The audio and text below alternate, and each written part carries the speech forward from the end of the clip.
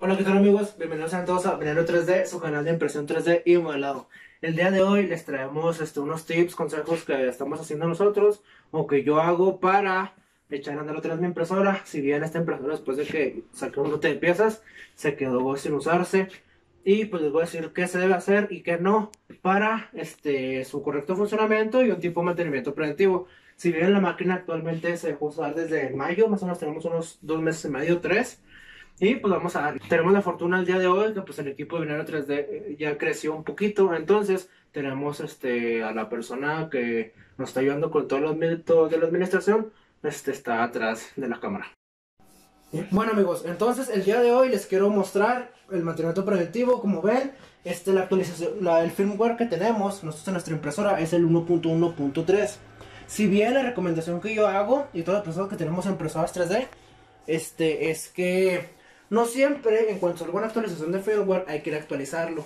Este, hay que esperarnos, o nosotros lo que acostumbramos, este, en mi grupo de amigos que tenemos impresoras, y más es este modelo, esperamos a que fluya un poco la actualización. Y bien, si la, la impresora la tenemos ocupada, como en su momento la tiene ocupada, yo no podía parar el lote de piezas que estaba haciendo, pues no me podía dar el lujo actualizarla al 1.1.5. ¿Por qué? Porque existe la posibilidad de que la impresora se desprograme. Entonces, de acá que mande a pedir el, la, o de acá que me llegue el USB con la reprogramación de la impresora, pues probablemente ya pueda perder ese trabajo o pues quede mal con las personas.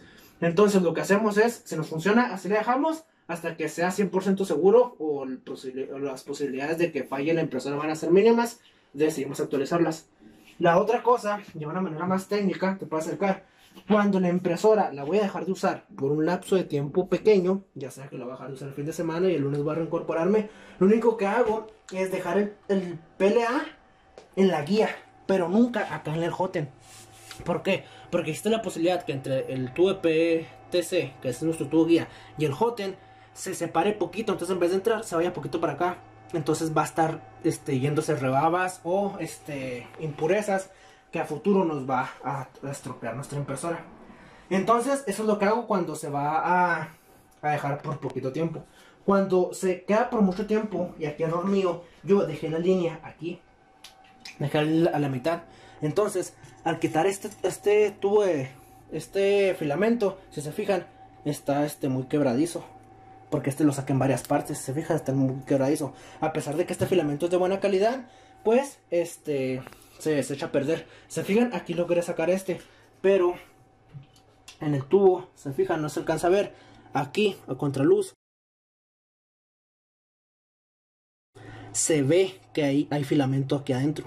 Entonces, este, ya vamos a, vamos a ocupar, darle un, mantenimiento un poquito más, más a fondo para asegurarnos de que no haya ningún, no, se haya quebrado en porque todo esto salió ahorita que lo quité, no se quiebren estas pequeñas este, partes y no se estropee el filamento. Como yo aquí ya cometí el error de dejarlo adentro, pues ya este voy a desmontar todo, pero como también les traemos planeación de varios videos, vamos a hacer este, vamos a desmontar el stock de filamento, vamos a, desmontar el Joten, el de fábrica para ponerle el Joten V6, todo, tenemos una serie de videos, entonces aquí yo ya lo voy a así para, porque vienen más videos, se los vamos a documentar, pero si, yo no estuviera grabando videos, le, lo desmonto y checo que no haya nada dentro. Otra cosa muy importante que tenemos que hacer otra cosa que no se debe hacer es dejar el filamento. Si se fijan aquí tengo poquito esta marca de 3D Printer Filament. Un filamento de muy buena calidad. Pero a pesar de eso, cuando tú la haces dejar por mucho tiempo sin usarse, lo que haces, agarras tu, tu carrete, lo metes en una bolsa Ziploc, le sacas todo el aire y ahí lo dejas. ¿Por qué? Porque nuestro filamento al estar expuesto al aire, al oxígeno, este, pierde sus propiedades. Entonces se hace como te comentado ahorita como les comento ahorita, se hace así muy quebradizo. Entonces, este filamento ni se les voy a ocurrir meterlo en la impresora.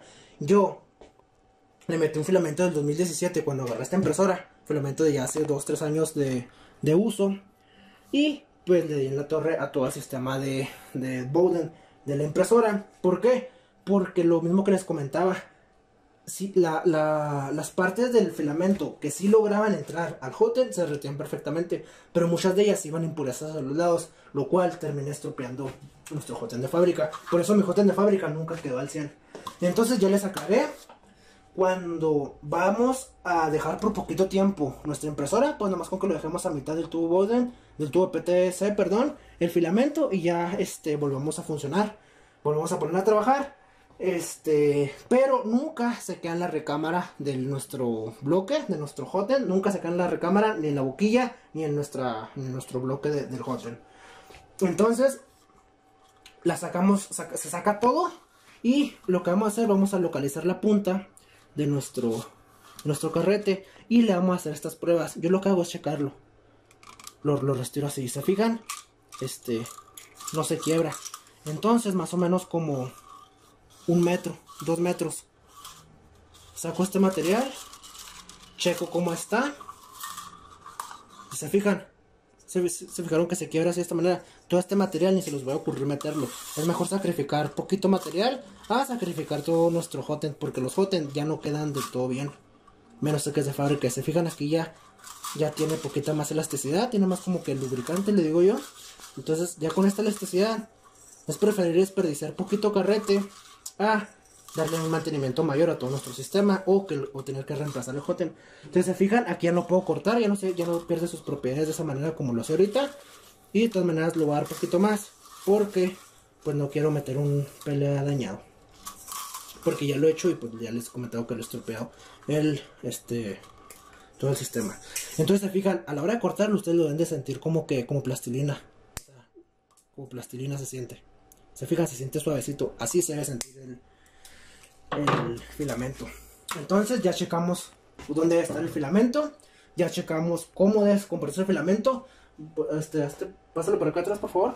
Aquí, se fijan, este se siente. O sea, se fijan, este se siente. Lo han de hacer, lo han hacer así, hacia hacia atrás. Y en ningún momento debe de tronar. Lo vemos por este lado y debe estar al ras. No debe estar ni muy flojo ni que este está hacia arriba. Y al hacerlo así, no debe de tronar. Entonces, este está en buen estado vamos a apretar el tornillo que tiene acá de nuestro rodamiento contra para pasar el filamento. Vamos a apretar este. Vamos a apretar los tornillos negros que tiene el uh, engrane dorado. Este. Vamos a pasar poquito filamento para asegurarnos de que no se haya quebrado. Nada y se haya quedado dentro de nuestro sensor. ¿Se fijan? Pasa perfectamente. Está en orden. Vamos a precalentar nuestra impresora, nuestro hotel, unos 220 grados Celsius, 5 minutos con la boquilla para que salga las impurezas de la boquilla, 5 minutos sin la boquilla para que salga la impureza del hotel, del bloque del hotel. Y vamos a, vamos a volver a calibrar otra vez nuestra impresora, vamos a calibrarla manual y automáticamente. Entonces, como les comentaba, como este cuarto lo tengo asignado especialmente, este rinconcito lo tengo asignado especialmente para la impresora, y como sabemos que aquí en la casa no hay niños chiquitos que puedan estar moviendo las cosas, como yo sé que esta, esta mesa no se ha movido, pues es imposible que este, este, se haya este, se haya desnivelado la, la, cama. Entonces por el momento no lo voy a hacer. Como les comentaba, vienen futuros videos. Todo ya chequé las bandas que estén bien tensadas. Ya les quité el polvo. Que los engranes no tengan, que los motores no tengan ningún residuo de polvo. Checamos que la ventilación no esté el pelea porque a veces tienden a meterse este, chequé la, por acá atrás, se pueden, se pueden dar cuenta, mi tablilla, mi placa, ya le he hecho unas mejoras porque se me quemó el conector, todo eso lo revisé, este está calentando en perfecto estado, este está en buenas condiciones, y se fijan, es un mantenimiento preventivo que le hago yo a mi máquina para volverla a echar a andar. Bueno amigos, entonces de esta manera terminamos y concluimos nuestro mantenimiento preventivo que le hacemos a nuestra impresora para volverla a echar a andar. Entonces ya saben, el único detalle si va a tardar poquito tiempo de uso la impresora o mucho es nunca dejar el... O más bien esto lo pueden hacer fijo, nunca dejen el pelea en la línea si la voy a usar dentro de un par de horas, está bien, pero la línea nunca se debe, no se debe quedar por mucho tiempo, y lo que sí nunca se debe quedar en el hotel, en el bloque y en la boquilla, nunca debe haber filamento. Entonces, esto es lo que hago yo, un mantenimiento preventivo, me aseguro en qué condiciones está el PLA, si está dentro de la guía, en qué condiciones está la boquilla, la pongo a precalentar como está ahorita para sacarle impureza a la boquilla al hotel, este, checo mi filamento y se fijan, prefiero perder un, unos 3 metros de, de PLA de mi rollo, porque lo demás está en buen estado. Ah, perder este, pues mi hotel, o perder el sistema, o porque al final de cuentas todo se resiente mucho. Entonces, checamos el extrusor, checamos la contra del extrusor, checamos el engrane, checamos los tornitos negros del engrane plateado, checamos que nuestro sensor de filamentos esté accionando de la manera correcta. Y pues esto sería todo, limpieza general, tensamos bandas, todo este, porque pues recordemos que esta impresora tiene tres meses sin usarse. A final de cuentas, si esto de descanso el viernes para el lunes echarla a andar, pues nada de esto se hace más que dejar el filamento fuera. Bueno, lo demás lo hago prácticamente para seguridad y saber en qué condiciones están mis componentes. Si se fijan, yo hay muchas piezas que ya no tienen un gran nivel de detalle que yo ya no las agarro porque sé que mi hotel no me da para más porque pues ya está resentido del uso y del, del, filamento que erróneamente le metí. Un filamento viejo ya con propiedades súper mínimas de lubricante y de fluencia del material. Entonces, este, por esto concluimos este video. Espero les haya gustado. También recuerden el tubo de PTC se cambia cada dos meses y medio tres meses de uso constante. En este caso, como yo nomás saqué ese lote de piezas, ya no se volvió precalentar el hotend, este tubo de PTC me sirve otra cosa me está pasando? Se limpian los abanicos que tenemos en la parte de arriba del hotel. Nos checamos que no haya, no haya pelea adentro de nuestra máquina. Y pues esto será todo. Espero les haya gustado. El siguiente video será del sensor de filamento. También les traemos cómo desmontar el hotel, cómo qué partes imprimir para instalarles un hotel V6, porque es el que le vamos a poner a esta máquina. Este, cómo, cómo limpiarlo de los atascos, a qué, a qué distancia debe, se debe de de poner el tubo PTC y pues nos estamos viendo. Hasta luego.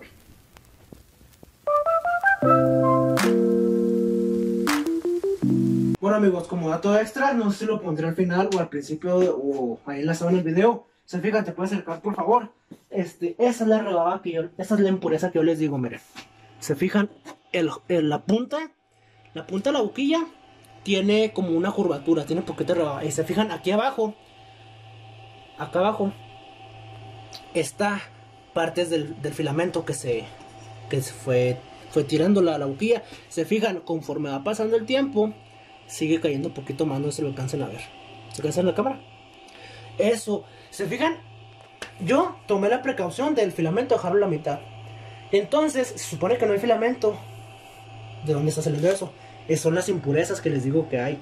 Entonces voy a dejarla así unos 5 o 10 minutos precaliento Quito la boquilla, le dejo unos 5 o 10 minutos, precaliento con el puro, con el puro hotel. Y de pasada pongo una cámara por abajo para ver cómo está la rosca, cómo está mi bloque, qué tan sucio está. Entonces por eso es muy indispensable, yo siempre recomiendo este, darle una precalentada a nuestra máquina cuando se vaya a volver a usar. 5 o 10 minutos con boquilla, 5 o 10 minutos sin boquilla, vuelvo a armar y créanme que eso les va a librar de muchos atascos. Nos estamos viendo. Gracias.